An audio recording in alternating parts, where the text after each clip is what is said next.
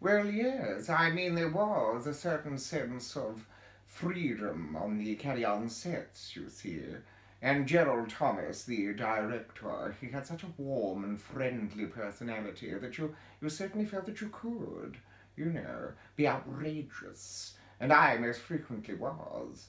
I remember one time when we were doing a love scene, and during this love scene I actually broke wind, you see. And um, they suddenly shouted, cut, cut, you know, we can't use that, that fart's on the soundtrack. And um, Joan Sims, who was wearing this silk grandeur, she was playing a duchess or something, she said, oh, where are you expected to make love to someone when they're blowing off? It's disgraceful. And I said, oh, don't talk such rubbish. Everybody's human. We're all human. We're all vulnerable. Even Valentino blew off. And Gerald Thomas, the director, he said, yes, but they were silent films, you see. And I thought that was a wonderful remark, you know, very accommodating and deserved at the same time. And I remember this other time when I was doing a show with Dame Edith Evans, you see, and we'd opened in um, in Brighton to um, to terrible reviews. And um, we were going home in the taxi cab back to the same hotel where we were staying. And she turned to me and she said, Did you receive any notes after the show? And I said, yes, I got one or two notes about the second act, you know. I said, did you get any notes? And she said, yes.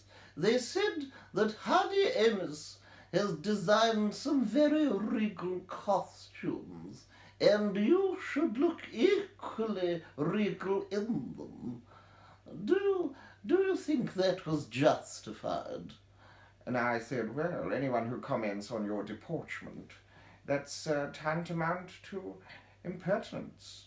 And she said, oh, you are a very pleasant young man, and there is no reason why the right girl should not come along.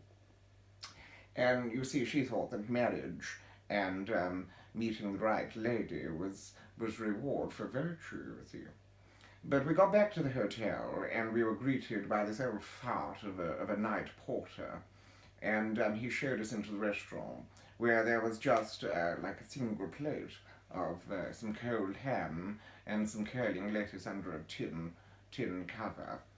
And um, he, he said to Dame Edith, he said, uh, your partner in crime has gone to bed, you know, she's had her grub, but um, she had a glass of wine with hers. Uh, would you like anything with yours? And she said, uh, yes, uh, half a bottle of Beaujolais would not go amiss. And he said, um, yes, well, I, I thought you would say that, so I've got something in the sideboard for you here.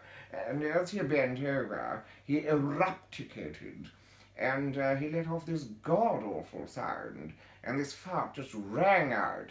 And um, Dame Edith Evans, she turned to me and she said, Do you know, this place has gone off terribly.